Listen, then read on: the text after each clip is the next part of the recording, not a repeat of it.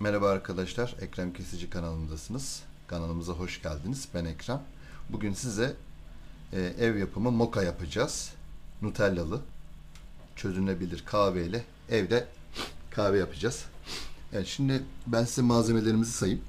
Nutella, çözünebilir kahve, e, French press makinesi, süt, su ve fincanlarımız var.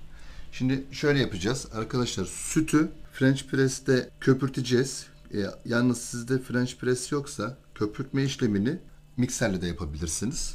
Şimdi şöyle yapalım. Arkadaşlar çözünebilir kahvemizden bir tatlı kaşığı kullanacağım. Yalnız benim şu an kullandığım fincanlar küçük. Siz büyük e, kupalarda kullanacaksanız yani kupalarda yapmak istiyorsanız iki e, tatlı kaşığı kullanacaksınız çözünebilir kahveyi. Şimdi şöyle bir ben iki fincan için hazırlayacağım. Diğer fincana da bir kaşık koydum. Şimdi kahveli işimiz bitti. Şunu şöyle bırakalım.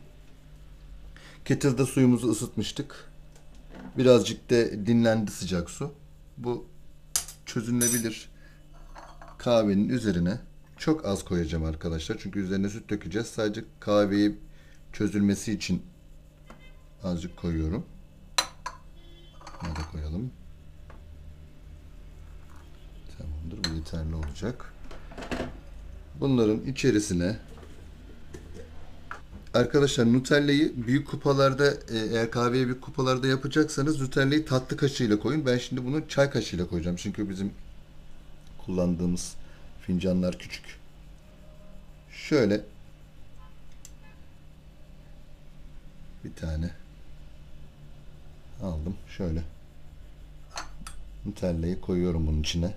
Arkadaşlar diğer fincan içinde Nutella aldım. Şimdi bunu şöyle biraz karıştıralım. Arkadaşlar şimdi Nutella'yı burada karıştırıyoruz.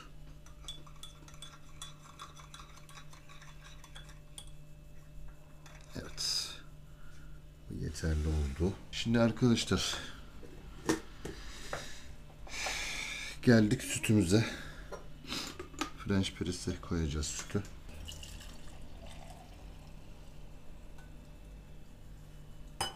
Evet arkadaşlar sütü French press'in içerisine koydum. Şimdi köpürteceğiz.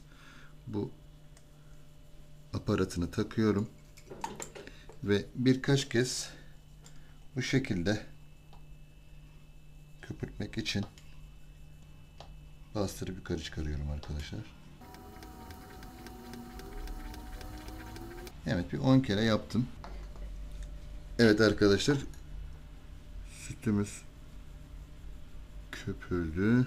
Şimdi kahvelerin üzerine dökeceğiz. Köpürttüğümüz sütü kahvemizin üzerine döküyoruz. Şöyle.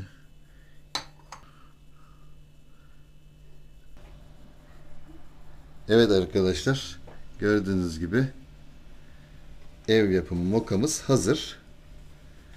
Bu videomuz burada sona eriyor.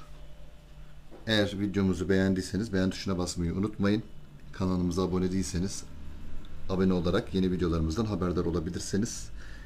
Hepinize iyi günler diliyorum. Hoşçakalın.